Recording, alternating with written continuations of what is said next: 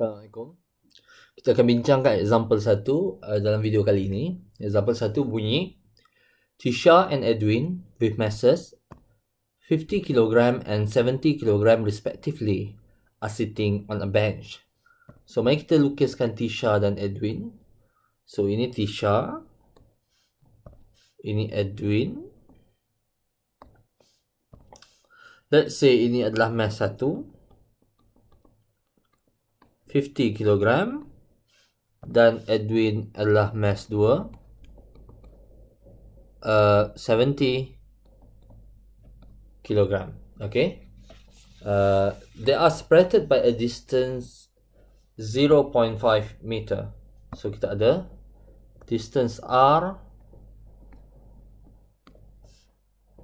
Okay so given that r is 0.5 meter. Calculate So our target is the gravitational force between Tisha and Edwin.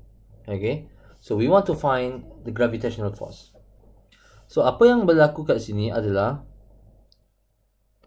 mass satu ataupun Tisha ditarik oleh mass dua. Mass dua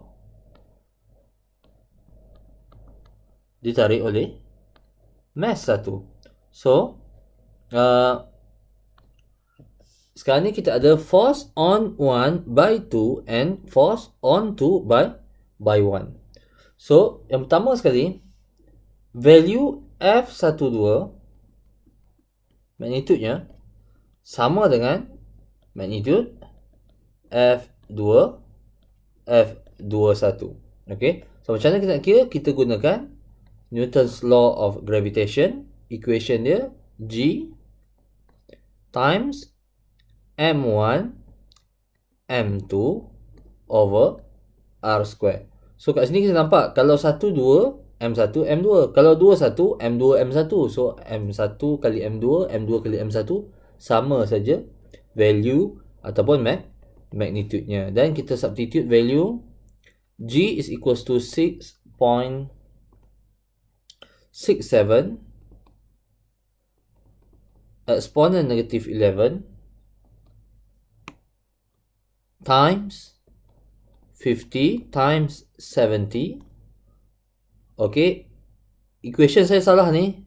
Bukan R subscript 2 tapi R square.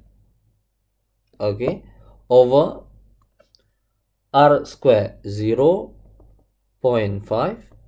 square. Ini kadang-kadang uh, kita terlupa nak square kan dia. Masuk dah betul 0.5 tapi lupa nak kuasa 2. Jadi jadi salah akhirnya. Okay. So jawapan kita adalah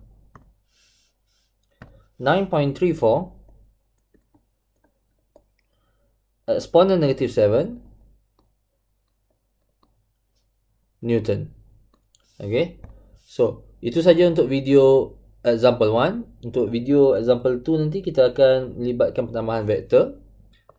Uh, so satu recap lah untuk kita. Uh, yang kita dah pernah belajar sebelum ni kita recap balik. Okay dalam example tu.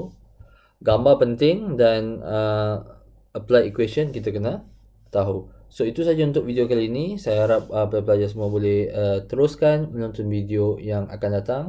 Sekian. Assalamualaikum warahmatullahi wabarakatuh